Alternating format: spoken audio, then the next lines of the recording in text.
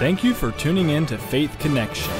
Karibuni, asanteni sana kwa kuwa pamoja nasi kwenye uhusiano wa imani. Obrigado por sintonizar a Conexão da Fé.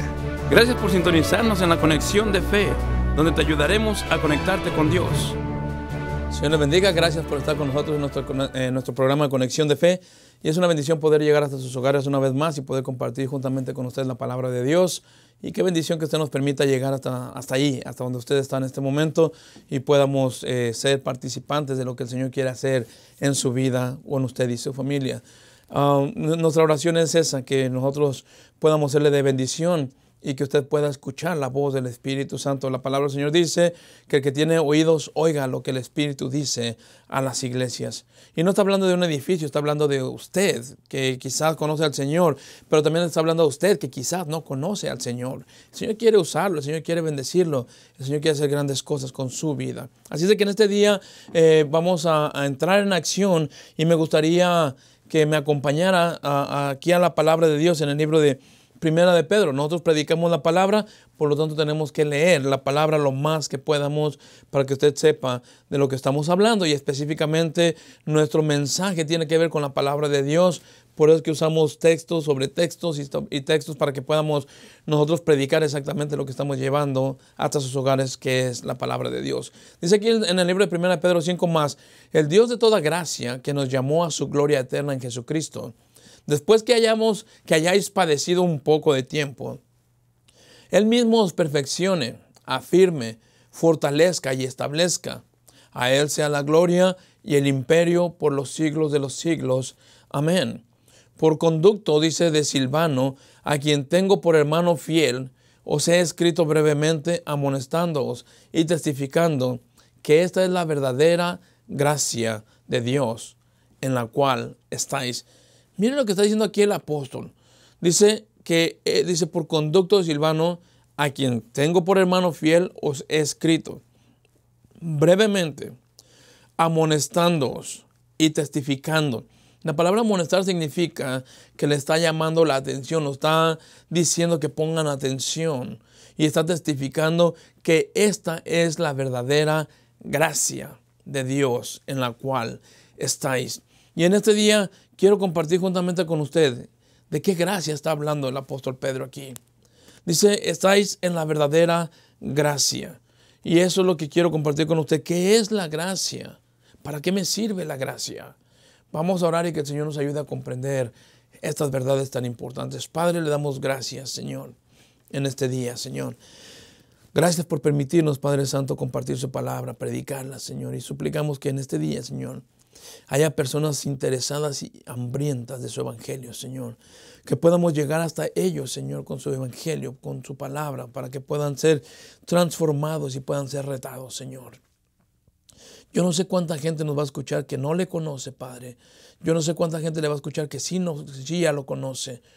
Pero igual, Padre, yo le ruego que salve vidas y también que confirme vidas, Señor. Que haya gente deseosa, Señor, de querer no solamente ser salvo, sino dar su vida por usted también, Señor.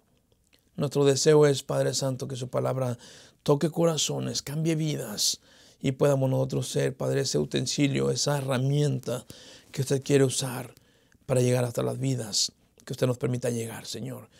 Suplicamos que nos ayude a comprender esta porción de la palabra y que nos dé dirección a través de su uh, Espíritu Santo y nos ayude a entender, Señor. En el nombre de Cristo le pedimos todo esto, Padre.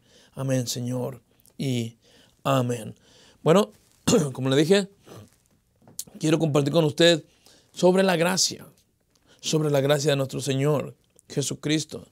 La gracia, hermano, de Dios es un don, es un regalo que no merecíamos. La gracia de Dios es algo que Dios puso en nosotros sin que nosotros tuviéramos, hubiéramos hecho algo por ello. Más bien, si nosotros hubiéramos recibido lo que, eh, eh, eh, el castigo que merecemos, o Dios nos hubiera dado lo que nosotros merecemos, créamelo, no sería nada bueno para nosotros. Pero dice la palabra de Dios en que siendo aún pecadores, Cristo murió por nosotros.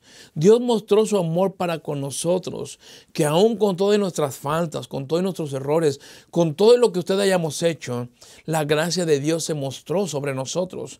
Cristo murió por usted y por mí.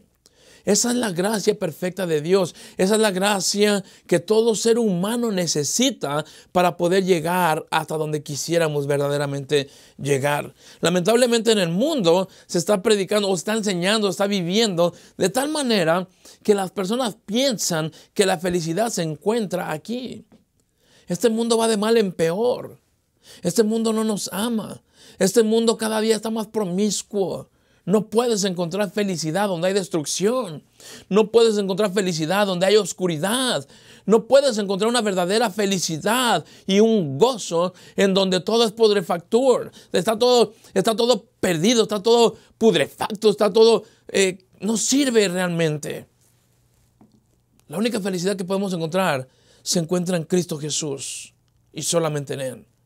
La palabra gracia para nosotros es una palabra que es de suma importancia, porque nosotros entendemos que esa gracia es la que nos tiene en donde nos tiene en el día de hoy. En el libro de los Salmos 103 la palabra nos decía, dice, no ha hecho con nosotros conforme nuestras iniquidades, ni nos ha pagado conforme a nuestros pecados. La gracia de Dios ha permitido que nosotros no recibamos lo que merecíamos. Usted y yo merecíamos muchas otras cosas. Sin embargo, Dios ha tenido misericordia con nosotros y por su gracia no hemos sido consumidos. En el libro de Esdras nos dice, más después de todo lo que nos ha sobrevenido a causa de nuestras malas obras y a causa de nuestro gran pecado, ya que tú, Dios nuestro, no nos has castigado de acuerdo con nuestras iniquidades y nos diste un remanente como este. Mira las palabras, Dios no nos ha castigado de acuerdo con nuestros pecados, de acuerdo con nuestras iniquidades, de acuerdo con todo lo que nosotros hemos hecho. Dios ha tenido misericordia con nosotros y no nos ha castigado, no nos ha de verdad puesto y, nos ha inculpado con todo lo que realmente deberíamos de recibir por todo lo que hemos hecho. Esa es la gracia de Dios. La gracia de Dios es esa gracia que nos salva sin merecerlo. Ese regalo de Dios que tú y yo no tenemos que hacer absolutamente nada más de que recibirlo. Eso es todo lo que tenemos que hacer, extender la mano y recibir ese regalo perfecto y glorioso de nuestro Padre Celestial. Esto nos enseña de un lado de la gracia de Dios, pero hay el lado de la salvación. Efesios 2, 8 y 9, de acuerdo a los otros textos que leímos, la gracia nos quita el castigo que deberíamos de merecer. No nos han pagado, Dios no nos ha castigado con lo que merecíamos de ser castigados por nuestros actos. Pero también la gracia de Dios nos ha salvado. Dice aquí la palabra de Dios en Efesios 2, 8 y 9, porque por gracia sois salvos por medio de la fe. Y esto no es de vosotros, pues es un don de Dios. Y mire, está claro, no es por obras para que nadie se gloríe. En otras palabras, tú no obraste, tú no trabajaste, tú no hiciste absolutamente nada para que tú puedas disfrutar de esa gracia y de esa salvación sobre nosotros de parte de Dios. No hicimos absolutamente nada nosotros para hacerlo, ni para merecerlo, mucho menos. En el libro de Tito 3.5 nos dice también que nosotros no hemos hecho absolutamente nada. Él nos salvó no por obras que nosotros hayamos hecho. Él nos salvó porque nos ama. Él nos salvó porque nosotros hicimos y creímos, dimos ese paso de fe para poder entregarle nuestros corazones al Señor Jesucristo cuando nos hizo la invitación. En el Evangelio de Juan 3:36 la Biblia nos enseña también que hay gente que ha rehusado ha rehusado recibir ese regalo precioso, ese don que Dios nos ha dado a su Hijo Jesucristo. El que rehúsa seguir al Señor, el que rehúsa recibir a Cristo como Señor y Salvador, la Biblia nos enseña que la ira de Dios está sobre él.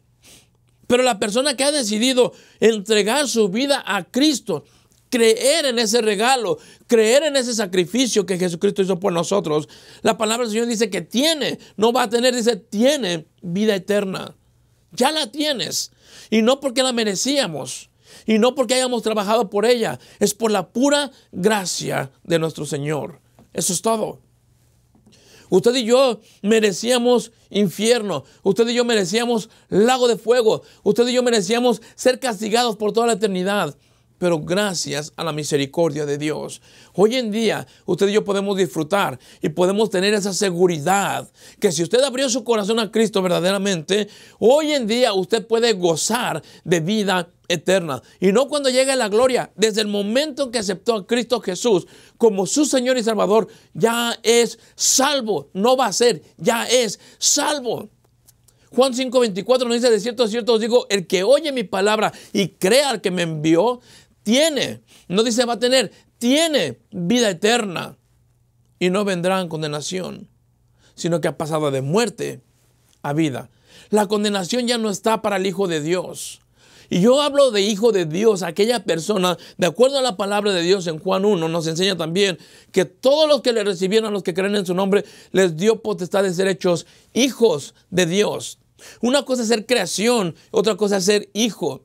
Tú no eres creación e hijo porque solamente tú dices, o mucha gente pretende y dice ser hijo de Dios. ¿Por qué son hijos de Dios? La Biblia nos enseña que en el libro de Juan, Dios nos, nos toma como sus hijos por medio de Cristo Jesús. Porque el que recibe al Hijo, recibe al Padre. El que cree en el Hijo, cree en el Padre y tiene al Padre. El que no cree en el Hijo ya ha sido condenado. Es clara la palabra de Dios y suficiente como para que entendamos. No puedo hacer yo nada por mi salvación. No puedo trabajar yo por ella. No puedo trabajar ni hacer buenas obras para pretender que por mis buenas obras yo merezco.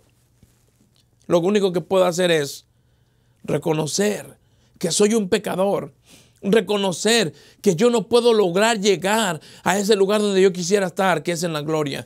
Reconocer que Jesucristo hizo el sacrificio perfecto una vez y para siempre y nada más.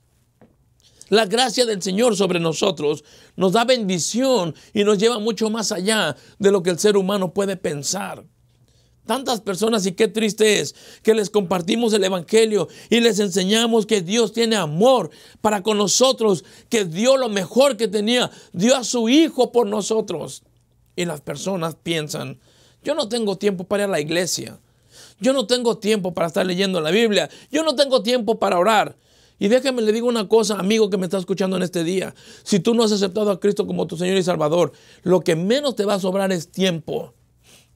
Porque Aquí en este mundo siempre estamos tan ocupados, ya sea en diversiones, ya sea en trabajo, ya sea en cualquier ámbito que podamos tener aquí, siempre estamos tan ocupados que no tenemos tiempo para pasarlo con el Señor. Sin embargo, la palabra del Señor nos enseña que un día estaremos en su presencia, en la eternidad. Y la palabra eternidad significa que es para siempre. Allá el tiempo no es factor. Y lo paradójico de todo esto tú vas a ir a darle cuentas a esa persona que nunca tuviste tiempo para él. Yo te aconsejo en este día y te exhorto en el nombre del Señor. Pon atención a lo que la palabra del Señor nos dice, porque tiempo sí tenemos. Lo que pasa es que hay otras cosas más importantes que Dios para mucha gente. Dios es primero, Dios es sobre todo, Dios es lo único que tú y yo necesitamos. Fuera de Él no ocupamos nada más. Sin embargo, es al que menos tiempo le dedicamos. Dios nos da 24 horas por día y en esas 24 horas nosotros hacemos lo que bien nos parece. Y entre esas 24 horas verdaderamente Dios no figura. Siempre está ausente porque nosotros lo tenemos en ausencia. Nosotros somos sido los que nos hemos apartado de Él. La gracia de Dios aún con todo ese pecado que hemos llevado, la gracia de Dios nos limpia, nos redime. La sangre de Cristo nos limpia de todo pecado por la gracia de Dios sobre nosotros. En el libro de Romanos 5:20, la palabra del Señor nos enseña y nos dice, pero la ley se introdujo para que el pecado abundase. Mas cuando abundó el pecado, dice, abundó el pecado y sobreabundó la gracia. En otras palabras, el pecado nos destruye. El pecado nos aleja de Dios. El pecado te aparta del Señor. Pero la gracia de Dios te regresa otra vez y te da vida. Y la gracia de Dios te, dice la Biblia, sobreabunda sobre el pecador. Esto no es un permiso para que sigas viviendo como tú quieras. No es un permiso para que sigas pecando. Esto es algo para que reconozcas que aún con todas tus fallas, aún con todos tus errores, aún con todos los pecados que puedas haber cometido, Dios te sigue esperando todavía. Jesucristo murió por ti. Dice la palabra de Dios, Él no vino a llamar a justos, Él vino a llamar a pecadores al arrepentimiento. Y el asunto aquí es que hay mucha gente que piensa, yo no he pecado, yo no he cometido errores, no me meto con nadie, soy honesto, trabajo bien. Qué bueno, gloria a Dios si tienes todos esos atributos. Pero te falta lo principal. Separado de Cristo nada podéis hacer. Porque la salvación no llega por tus buenas obras ni por tu buena conducta. La salvación llega porque Jesucristo se convierte en el Señor de tu vida. Ahí es donde realmente comienzas y naces de nuevo. Jesucristo le dijo a Nicodemo, es necesario nacer de nuevo. Y solamente por la gracia de Dios es que podemos lograr esos atributos en nosotros. Solamente por la gracia de Dios que usted y yo podemos lograr tener y gozar de esa vida eterna. Desde aquí, en la tierra, desde aquí, en nuestra vida moral, e, esta vida pasajera. Desde aquí podemos empezar a disfrutar de la vida eterna que nos espera al lado de nuestro Señor Jesucristo por toda la eternidad. Ahora, ¿cómo vamos a lograr esto? Nosotros entendemos que yo no lo puedo hacer. Hubo alguien. Vemos que la gracia me sirve para librarme de la ira de Dios. Me sirve para salvación. Su gracia me sirve para eh, encontrar esa paz que el mundo no nos da. La gracia de Dios nos sirve para que usted y yo entendamos que no es lo que yo hice, es lo que Jesucristo hizo. Mire lo que nos dice aquí en el libro de Hebreos 4, Hebreos 4, 15, porque no tenemos un sumo sacerdote que no pueda compadecerse de nuestras debilidades, sino uno que fue tentado en todo según nuestra semejanza, pero sin pecado. Acerquémonos pues confiadamente al trono de la gracia para alcanzar misericordia y hallar gracia para el oportuno socorro. Necesitamos acercarnos a ese trono de la gracia, ese trono de nuestro Señor Jesucristo, ese lugar donde nosotros podemos encontrar lo que tanto estamos anhelando y buscando, que el mundo no nos lo puede dar. El mundo no te puede dar esa paz. Jesucristo dijo, en el mundo tendréis aflicción, pero confiad en mí, yo he vencido al mundo. Cristo ya venció al mundo, todo es cuestión de tiempo. Esto que está pasando, esta dificultad que está pasando, eh, eh, esto es cuestión de tiempo nada más. Jesucristo viene por los suyos, por los que aceptaron su sacrificio. Tenemos ese sumo sacerdote que fue tentado en todo, pero sin pecado. Él, fue tentado absolutamente en todo lo que el ser humano puede imaginarse y puede pensar. Jesucristo fue tentado todo ello, pero sin pecado. Él fue el único que no pecó. Él fue el único que cumplió a su totalidad lo que Dios demandaba de un hombre santo. Jesucristo fue el único. Y gracias a Él, que nos presenta delante del Padre, nos presenta justos, que no lo somos por nosotros. Nosotros no somos justos por nuestra propia. Dice la palabra de Dios, no hay justo ni aún uno. No lo hay. Cristo nos hace justos con su sangre y Cristo nos presenta justos delante del Padre para que el Padre nos pueda aceptar en Cristo Jesús. No por nuestra propia cuenta. Usted y yo no hemos hecho más que añadirle fuego al fuego cuando nosotros actuamos como actuamos. También vemos que Dios eh, eh, es quien nos da esa gracia. Santiago 4:6, la Biblia nos enseña, pero Él da mayor gracia. Por eso dice, Dios resiste a los soberbios y da gracia a los humildes. Esa gracia que usted y yo necesitamos. Dice, Dios resiste a los soberbios. Dios no quiere gente que pretende no necesitarlo a Él. No, no hay un ser humano en el mundo entero que pueda decir, yo no necesito de Cristo. Quizá pensará que no lo necesita aquí porque tiene solvencia económica. Quizá dirá, yo no necesito a Jesús porque cree que lo puede poseer y lo tiene todo. Pero parece que no ha entendido que somos pasajeros.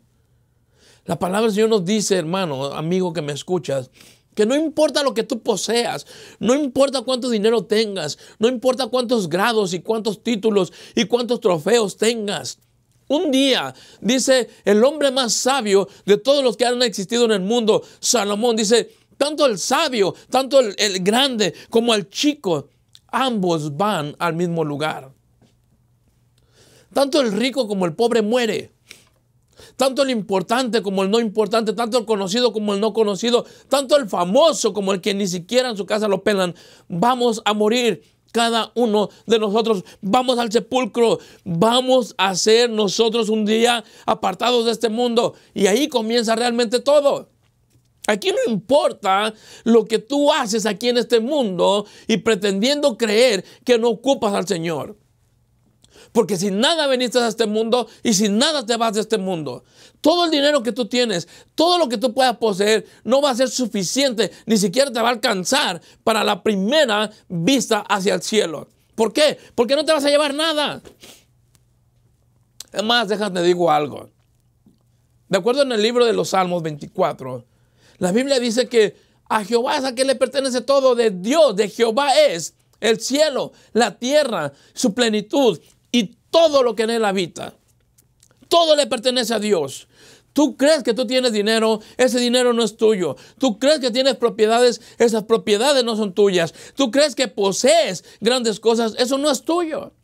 La Biblia dice que nosotros solamente somos administradores. Y un día tenemos que ir a dar cuentas.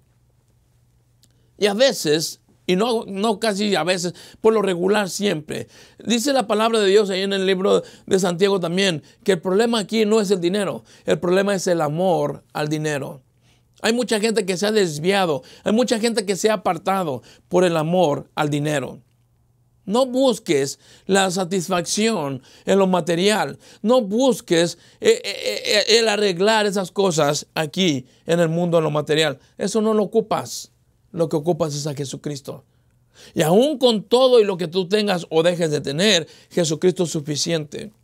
Por eso dice la palabra aquí, lo que acabamos de leer, Dios resiste a los soberbios, porque el soberbio piensa, yo no ocupo de nadie, yo no necesito de nadie, cuando tú sabes que sí, ocupas mucho y ocupas demasiado del Señor, más de lo que tú puedes creer.